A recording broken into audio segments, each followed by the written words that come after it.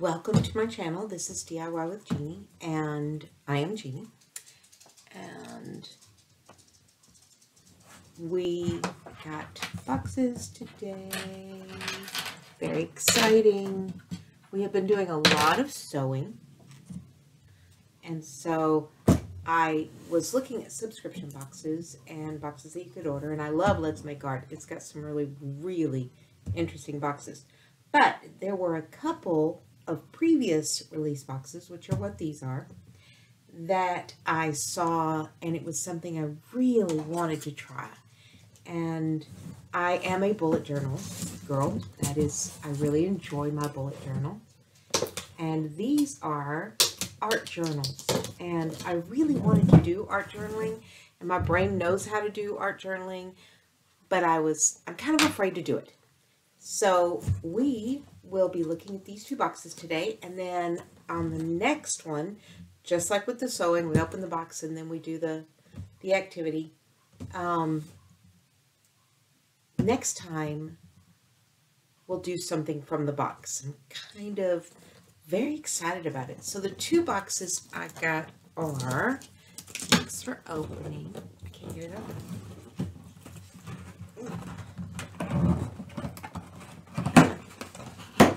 is it taped? Ah, there we go. Didn't see the tape on the side. It's beautifully clear. Probably because it was in another box. So, here's our first box. With a little card. And this is a friendly reminder. Set aside. Ah, this is a friendly reminder, and I think this is a good thing.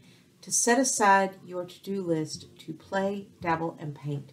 So um, I really like that idea. I like the uh, the thought of make sure every day you take a little time to do something that brings you joy.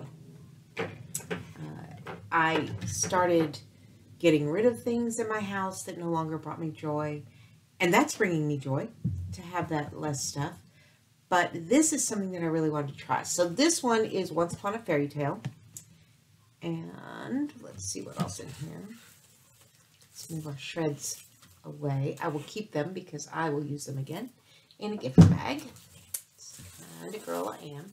I'm a recycle girl, which once, if you order anything from me, you will find that out because I will recycle a box to send out stuff that's mine because I don't see a reason to keep making more boxes when we all have enough. Things that are going out this week in the mail, but I'm using mailers from the post office, the one price. So let's just pop everything out of here. And we're going to keep the box. Spoiler alert, you're good at this. Don't you love that? You're good at this. See, I have I have my students, they go, I, I just can't, miss. I can't do art. And I'm like, yeah, you can. You really, really can. And it makes it's important. It's important to just be free to be you. Art is subjective. Other people may not like it, but it doesn't matter. It really doesn't matter. Now, they sent us some prompt cards to um, journal with because we have our little traveler's notebook for mixed media. So it gave us some some stuff to prompt for us to write or do art with just take a look at them. So all of the cards. So this prompt, whether you've been making art for a while, or uh, prompt, a letter from your fairy art mother. So write a letter to yourself from your fairy art mother. Uh, mirror, mirror, let's rewrite the fairy tale of the fairest of them all. Instead of focusing on outer beauty, how can we reflect on your beauty in words and represent who you are, not just what you look like? I love that. We all get enough of you're not pretty enough, you're not whatever. Now, this is technique cards. So, framing, how to frame your artwork, frame your dreams is one of the techniques that are in here. So that's what that looks like. Um, mirror collage. So you put a little mirror down and you collage the words on it and pop-up letter. So that would be like a letter from your fairy art mother. We could do a pop-up letter where it's part of the thing and you unfold it out. I like that. And they gave us the templates to use. Yay! Some beautiful art for our collage. Like using scrapbook paper or even beautiful tissue paper is good for this kind of thing. Some colored paper. We've got a page with our fairy art mother, our follow your dreams. They know where you need to go. Um, follow your dreams, they know the way. Uh, you are devoted, just a whole bunch of words that we can use. And there's our outlines that we can use. And here is our journal. Now I have paints and markers, and I think we all do. We have an abundance of that kind of thing. So here is our mixed media traveler's notebook.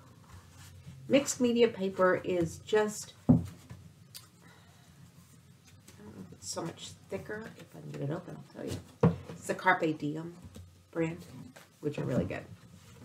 Yeah, it's thicker paper, but so you can watercolor on it and glue stuff to it and use stamps on it. And so it's like cardstock, maybe even a little heavier. You could make your own journal using, um, well, where are you going, babe? Using um, watercolor paper that you buy in the big, big books. And so you could make you a little one. So that is our first one. That's the Fairy Art Mother. The Once Upon a Time box. This one is called Wabi Sabi. Kind of excited about it.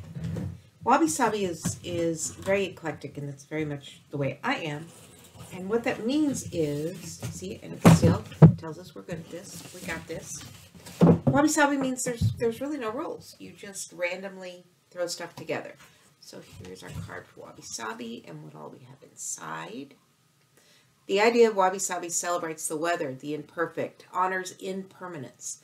Um, this method will explore, will explore prompts to dig deep into those ideas. The supplies included will help you, and it would go well with this box as well. Oh, good, I forgot our bag. This is our bag. This is our bag from the Once Upon a Time. Ooh, we've got some goodies. Oh, look at that. That is beautiful. It is called Stickles. We're going to have fun with that. Glitter is, is like one of my favorite things, and yet once you open glitter of any kind, even in a, a fluid, whew, you got glitter. Acrylic paint sand, acrylic paint sky, acrylic paint black, and yes paste. Well, we got some, that is interesting looking. Anyway, so that was our first box. I completely forgot about the bag. So put the bag over there. Ooh, we can even use the bag. We'll paint on that too. Yes, ma'am. So now, our second, let's make art, is the Wabi Sabi. Let's read all of this. Shreds in the box so that I can use them later.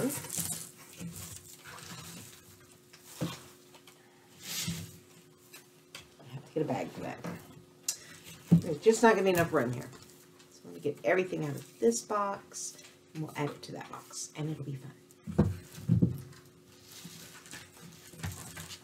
I have another mixed media notebook, more paper. Yay, so let's move that out of the way. Get rid of the box. If I get rid of I mean, I'm just going to put it somewhere else because you know I'm not going to throw it away.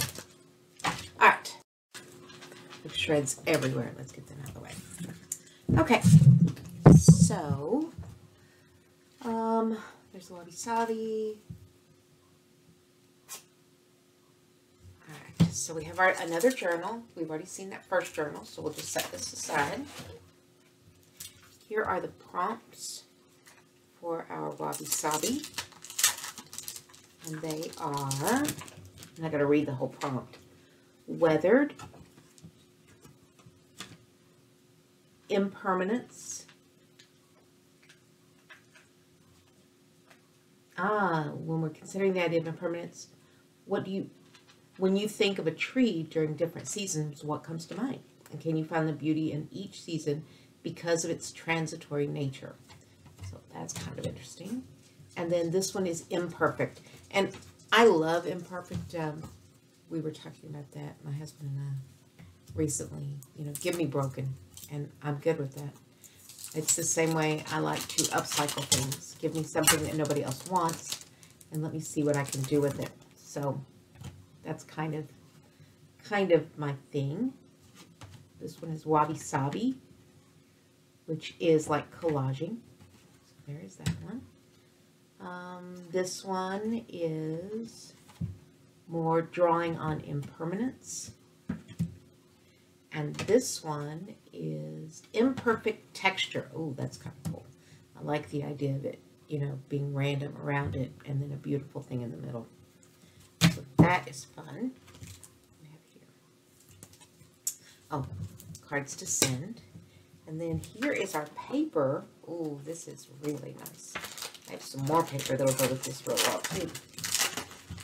Let's take a look.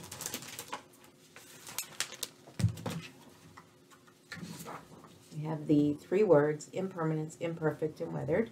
And we have weathered keys and keys that look fine, newsprint, picture out in the thing, out in the flowers. Um, I might try to find a picture of my own and use. That would be kind of fun. Some rust look, paint, or even weathered denim. And then here are some pieces that you can cut apart. And that is exciting to me. I cannot wait.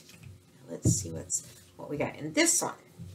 We got white gesso, which will leave a really nice texture. We got apricot. Oh, that'll be really pretty with that uh, sand. Variations on it. We got a pencil. Oh, a charcoal pencil. I love these. The softer lead. Those are beautiful. We oh fuchsia. Yes, please. To be not a very girly girl. I am a girly girl. Uh oh. I'll grab that. Marine. That's going to be beautiful, especially that sky blue as well. Cheddar. That looks like fake cheese, which is kind of funny. And here's the last thing. I dropped it under my chair. And the last thing is more of that paste. I'm, I'm excited about this paste. I can't wait to see what this does. So again, we have another bag that we can paint on and do with as we wish which is going to be very exciting. This one was not a very long video. Let's take a look before I put all of this away. I would like to see how this paints on here. So we'll get our little mixed media journal out. So we have uh, looked at our little journal, looked at our stuff, I already started playing. And next time we will put together maybe one of the pops. We'll see what that what happens. Or um, maybe I'll come up with a better idea, something that let's let's work on this and see how this goes. But I really like the way the paper is, and I'm really enjoying. I think I'm going to really enjoy this. So let's make art. Um, you really can't do it. I promise. I wouldn't lie. Uh, not about this. I think art is too important to lie about. So get something you're happy with, do something you're comfortable with. But even if you're not comfortable with it, just do something. It's going to be fun. You can't go wrong. I promise. Till next time, DIY with Jeanne. Can't wait to see you again.